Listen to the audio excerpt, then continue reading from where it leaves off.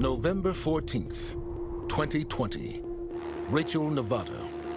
Area 51 researcher Jörg Arnu boards a small private plane with his friend and pilot, Gabe Zeifman.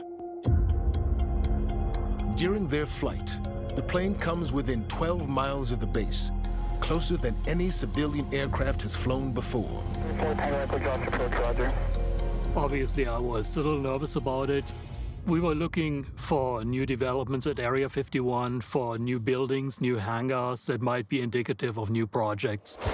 And sure enough, we did find a couple of uh, new developments, new uh, buildings at Area 51. After the flight, the men posted high-resolution photographs of Area 51 online. The images prompted close scrutiny and excited speculation among other Area 51 researchers. The photos revealed that there are more aircraft hangars at the base than previously thought. A new hangar is being built at Area 51 approximately every two years. Looking at satellite images, we can actually learn quite a bit. If we look at a hangar, we can look at its size, at its location in the base, even things like is there one center taxi line going into the hangar or there several taxi lines? That all tells us something about the project. And of course, the location of the hangar is significant. The most secret projects are always on the outskirts of Area 51. So it seems that there have been some changes at Area 51. Uh, the mission is changing, evolving, and above all, it proves that things are still active. Although the very existence of Area 51 was kept in the shadows for as long as the federal government could manage it. In recent years, declassified documents have revealed the original purpose of the base, giving many researchers more certainty that secret development of aerospace technology continues there today.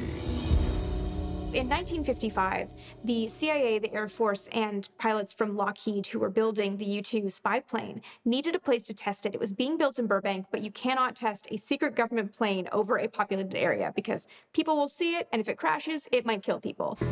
So they were looking for a remote testing area out in the desert, and they found this runway near Groom Lake. It was an old World War II aerial gunnery site. So the CIA had the Atomic Energy Commission add this site to its real estate holdings so the U 2 program could move out there for testing. And its map designation was Area 51.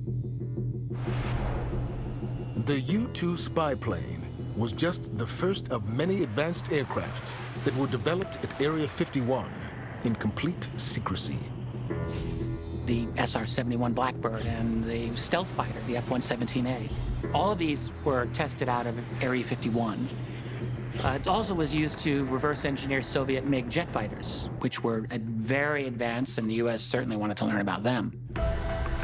The United States has had a long history of testing its cutting edge aerospace projects at Area 51.